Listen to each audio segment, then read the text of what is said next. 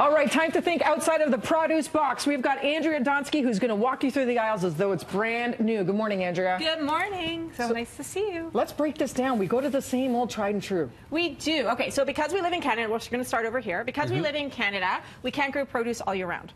No. Right? So what farmers do is when they can grow it, they'll grow it in abundance and then they put it into a warehouse. And then they pull from it all year round. So that's why we can have butternut squash in the middle of January or February. Okay. So one tip would be to try different vari- varieties of the produce that you normally buy. So if you usually buy orange carrots, try purple or try yellow. If you buy red beets, try striped candy cane so beets. cute. Aren't I've those had beautiful? Those are lovely, yeah. Right, so they're a little bit more mild, right, when it comes to it. And So- perfect for Christmas, candy cane color. that's right, exactly. So you want to try different, things, especially squash, anything that's local, right? Potatoes, etc. All right, so the next thing we have is this is rutabaga. This one scared me, and then I, I cooked with it on the weekend because Yeah? it feels like it's impossible to actually prep, but it's not. It's the not. trick? So, okay, so rutabaga is a mix between turnip and cabbage. It's part of the brassica family. So think broccoli, cauliflower, right? So it's got those antioxidants that can Mm-hmm. help prevent certain types of cancers. Really healthy. It has fiber and vitamin C as well. So the skin is really thick, so you want to peel it off. It's got this waxy You have to. film. Which is yeah, easy so you to got peel. It, yeah, really easy. And you could eat it Raw? raw Really? or you could cook it. So what's great about rutabaga is that it's lower in carbohydrates. So if you want to replace a potato with it, you can. So it's great for low carb diets. Tastes like a chestnut almost. I would never have thought to eat that raw. That's Isn't the that top of my great? You can use it in dips, which is another really good thing, or you can make mashed rutabaga instead of mm-hmm. mashed potatoes. You can roast it, you mm-hmm. can bake it, you can do Some so many things with it. Yeah, I love it. It's one of my favorite vegetables and underappreciated. Absolutely. Okay, have you ever tried jackfruit? I have, and by the way, this could be 120 pounds, of this fruit. Oh my god, exactly. Giant, Yeah, they're massive. Raj. Yep. Massive. Largest tree fruit. and It's huge. So what's nice about jackfruit is that it's nutritious, it's delicious, and it's really trendy now, and it's versatile. And I'm going to explain why in a minute.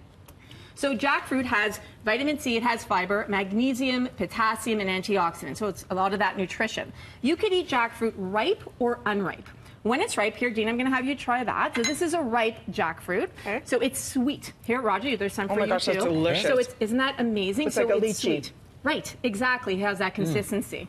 Oh, lovely. Yeah, But it- little mango in there. And a bit like a peach. Isn't yeah. that nice? So you can eat it ripe. You can also eat it when it's unripe or green. It's called a young jackfruit. So what's nice about it and why it's so trendy is that it's a, it's vegans are using Savory. it now, or people are using right. It's got a savory mm-hmm. taste, but people are using it as a meat alternative. So if you're trying to really reduce Oh, that amount of yeah, animal yeah. protein, people it's like a mock pulled pork. It tastes a little bit like chicken, So good. and that's what it looks like when it's uncooked. So you can get it fresh when it's in season, or you can have it in cans all year round. So this is Cha's Organic. It comes in their cans. They're they're grown in Sri Lanka. They're organic, non-GMO. They're BPA-free cans, and they're easy to open because you don't even need a can opener. They've got this little clip that you can pick Delicious. up. Yeah, so good, right? That's really good. Okay, prickly pears or cactus plant, uh, cactus fruit. Have you ever tried this? My dad No, makes it all haven't. the time. He, Okay. he peels them for us because it's very tricky. Yes, exactly. Yeah. You want to make sure you remove that peel. So what's nice about the cactus, the prickly pear cactus fruit, please, it's anti-inflammatory, antiviral, vitamin C, fiber, and what's really cool about it is that for hundreds of years it's been used as a hangover remedy. There you go, Raj. Why don't you go right to me on that one? Excuse me, I'll be, Exactly. I'll be bringing this home with me then.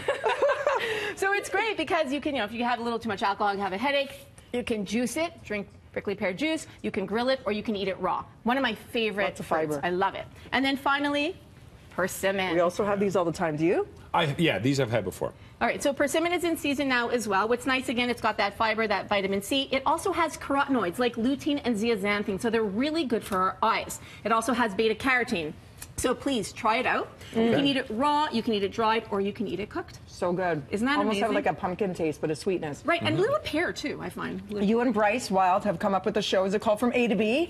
Andrea to Bryce? Andrea Bryce. So yeah, so Bryce and I are teaming up for a Facebook show in 2019. So we created a Facebook page at Andrea and Bryce. We're really excited. So we want everyone to like our page, please, You're both and watch so our great. videos. Oh, thank Congrats. you. Beautiful. Looking Thank forward you. to that in 2019. Thank it's a good you. help. I'm going to just go back to eating. Pick it outside Yes. of the box in the So yummy. produce aisles. We'll be back with more grab BT right too. After this. Hmm. So It's a good. pear, right? A little bit. Mm-hmm. Mm-hmm. I know.